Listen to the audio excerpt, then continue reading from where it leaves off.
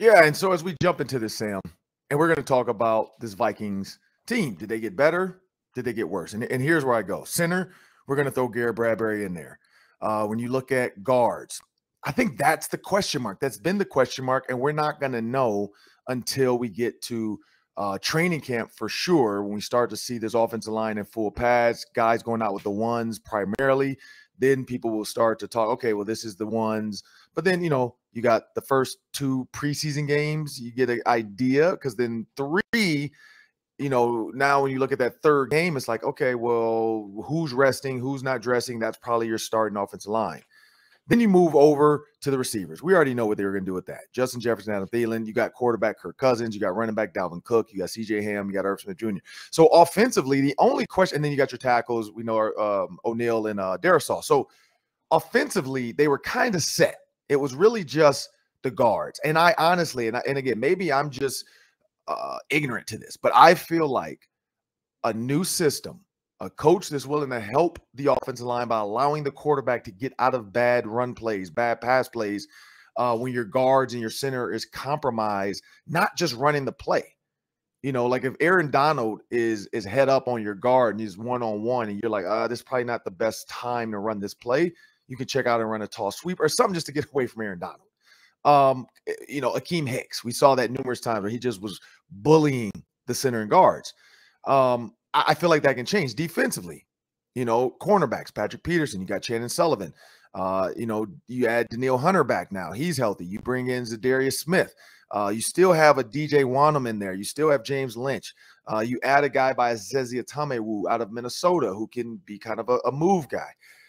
Uh, linebackers, you got Kendricks, you got Hicks. I mean, I, I feel like, and then safeties, I think you added Lewis Cine, which is a huge piece.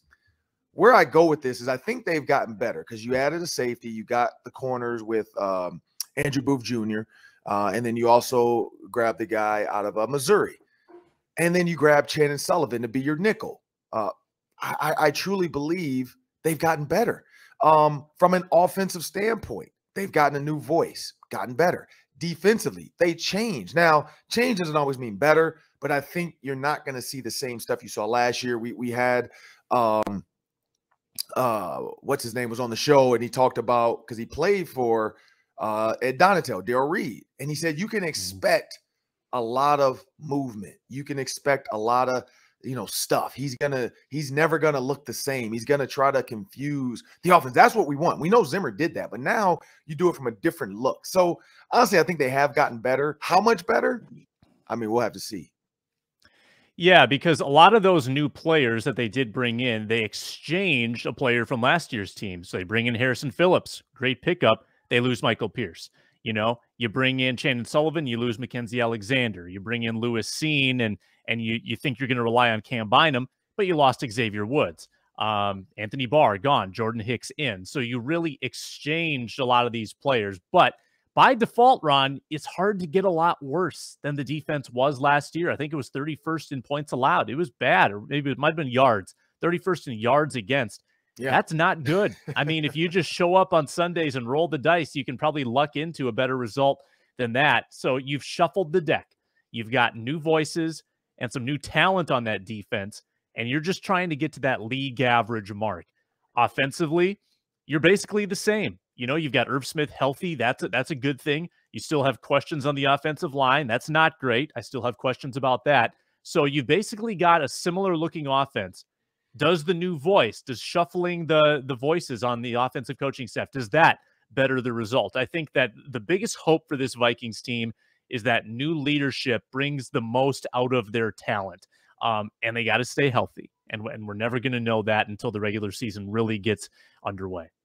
Yeah, and and from a leadership standpoint, you know, Kwesi, you know, we talked about that. My conversation with him, uh, talking to some of the scouts as well.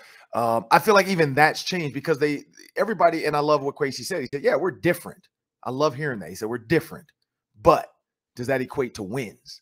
And I think that's the honest answer that a lot of people want to hear. Like, yeah, we're different. We're we're younger. Uh, our mentality, our culture is changing. Just like PJ Fleck, you know, change the culture but does that equate to wins? Uh, in, in, the Gophers' grand scheme of it, they've gotten there. They they had some some big wins when Tyler Johnson, Rashod Bateman, And now it becomes a question for the Gophers. Is it because of the talent? Is that what made Tanner Morgan great? Great receivers made him great.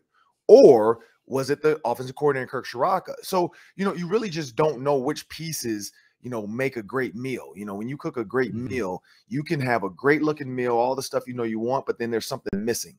I think that's what the Vikings have to figure out. What what's missing in this ingredient in this in this recipe to make this a great meal of a team to make this a dominant team a team people are scared to play in the playoffs um, and don't want to come into us bank stadium they don't want the vikings to have more like when you when you have that when your crowd's involved and your crowd's excited because they're they're excited about the team I think it all goes together because people, you know, Eric Kendricks mentioned that before. Like, you know, they feed off the crowd, and you know, oh, when, when it was quiet, it was tough, you know, without fans in the building you know, I think that all kind of is going to resonate and become like a final piece to the puzzle was Kevin O'Connell. And maybe that's it.